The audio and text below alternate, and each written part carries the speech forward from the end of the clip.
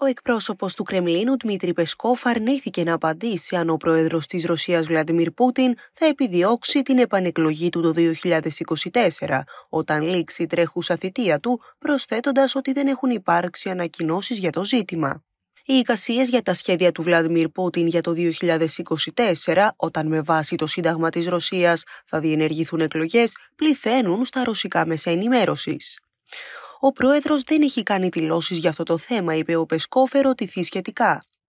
Ο Πεσκόφ προειδοποίησε πως οι Ουκρανοί είναι εκείνοι που θα υποφέρουν αν η Δύση στείλει άρματα μάχης ως υποστήριξη προς το Κίεβο, την ώρα που παραμένει αναπάντητο το ερώτημα αν το Βερολίνο θα δώσει άδεια για την αποστολή Λέοπαρτ στην Ουκρανία. Όπως είπε ο εκπρόσωπος του Κρεμλίνου, οι διαφωνίες στην Ευρώπη για την παροχή ή μη αρμάτων μάχη στο Κίεβο δείχνουν την ευρικότητα που επικρατεί στους κόλπους του ΝΑΤΟ και πρόσθεσε ότι όλες οι χώρες έχουν ευθύνη για τις επιπτώσεις που θα έχει η προμήθεια οπλισμού στην Ουκρανία.